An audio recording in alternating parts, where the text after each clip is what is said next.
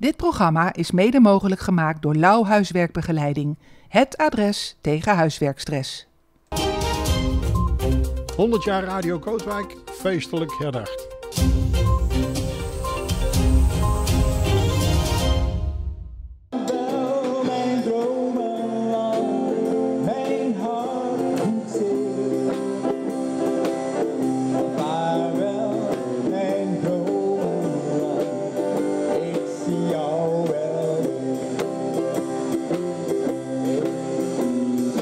5 mei 2023 was het precies 100 jaar geleden dat de eerste radiotelegrafieverbinding tot stand kwam tussen Malabar in het voormalig Nederlands-Indië met Radio Kootwijk op de Veluwe. René, ehm, de zaal loopt langzaam vol, 100 jaar Radio Kootwijk. En eigenlijk niet iets waar eh, Staatsbosbeheer eh, onmiddellijk bij eh, geassocieerd zou worden, toch? Nee, je zou het, je zou het zeggen, maar sinds 2009 heeft eh, Staatsbosbeheer wel alle, alle gebouwen, hè, de 19 hebben we hier nog, allemaal aangekocht. En de bestemming? Want de bestemming eh, zenden naar Indonesië, die is geweest, denk ik. Ja, dit gebouw is bijvoorbeeld al aardig eh, gerenoveerd, want het was natuurlijk een, eh, de, KPN deed ook al niet zo gek veel meer aan het gebouw. Dus we hebben het aardig eh, goed bijgewerkt, zeg maar. Dat, eh, en hij is nu eh, voor, eh, voor, voor vergaderingen en voor evenementen is die, eh, eh, beschikbaar, zeg maar, het gebouw. Maar eh, plannen, plannen voor de toekomst, voor, de- voor deze panden? Ehm, het is wel de, bedoeling dat we het op een, op een rustige manier, hè, het ligt allemaal in een eh, Natura 2000 gebied, het helemaal, dus dat we het op een rustige manier gaan beheren, het gebouw. En dan Staatsbosbeheer de enige die dat zou kunnen, want je kunt het niet exploitabel krijgen, het gebouw, of, of moeilijk exploitabel krijgen. Dus kun je dat gewoon zelf de evenementen uit, uitzoeken die eh, passen bij, eh, bij de omgeving. Dus dat moet goed opgelet worden. En bij het gebouw uiteraard. Dat is wel 100 jaar oud natuurlijk, het gebouw.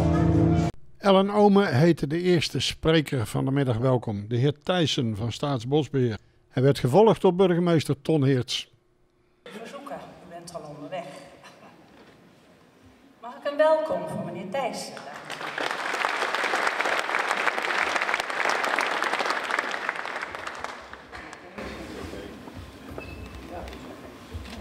Hartelijk welkom in dit voormalige zendergebouw. En ook welkom bij Staatsbosbeheer. Al meer dan 110 jaar eigenaar van het gebied en sinds 2009 ook eigenaar van dit gebouw en de daaromheen liggende gebouwen. Welkom hier, hoofdstad van de Veluwe, hè, want dat is Apeldoorn. En met hier bedoel ik ook deze bijzondere plek. Hebben we net weer indrukwekkend kunnen zien wat hier allemaal aan geschiedenis ligt. Want Radio Kootwijk, beste mensen, dat is en blijft een hele bijzondere plek. Enerzijds verlaten, maar toch ook niet. Want het is een buitengewoon populair wandel- en fietsgebied. Dat hebben we denk ik allemaal op weg hier naartoe ook weer kunnen beleven. Aan de ene kant is het ruig, maar aan de andere kant is het ook weer doordacht beheer. Imposante architectuur midden in een lege vlakte. Een kleine maar mooie kern binnen onze gemeente met iets meer dan 100 inwoners. Maar die 100 inwoners zijn wel onderdeel van een van de grootste toeristische trekpleisters in ons land. Kortom, Radio Kootwijk is in zekere zin een vat vol tegenstrijdigheden. En dat maakt het juist ook weer zo bijzonder.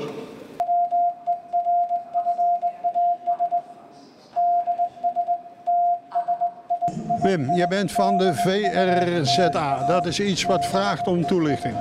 De VRZA dat is een afkorting van de Vereniging van Radiozendamateurs.